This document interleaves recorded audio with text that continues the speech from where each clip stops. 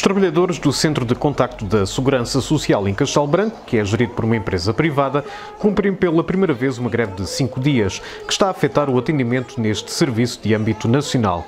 Os anteriores protestos de 24 horas aconteceram com o objetivo de conseguir melhores salários e o aumento do subsídio de refeição. Mas agora, no topo da agenda está a passagem do serviço da Reddit para o Estado.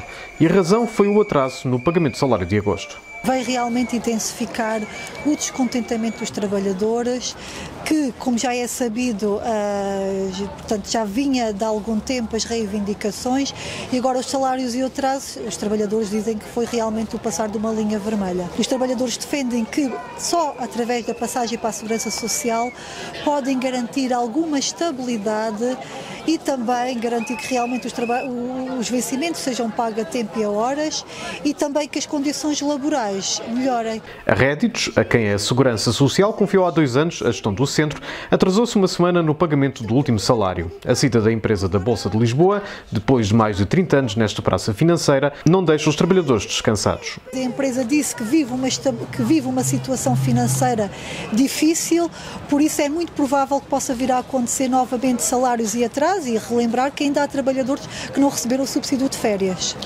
Os trabalhadores fizeram um percurso entre o Centro de Contacto e a Câmara Municipal de Castelo Branco, onde o secretário-geral da CGTP pediu responsabilidades. A gente tem que encaminhar o nosso contentamento exatamente para onde vocês estão a encaminhar. É para a frente daqueles que nos fazem ter as dificuldades crescentes no nosso dia a dia. É para a porta da empresa, para a porta daqueles que nos pagam mal, que nos tratam mal, para a porta daqueles que todos os dias nos oprimem e trazer para a porta daqueles que permitem isso.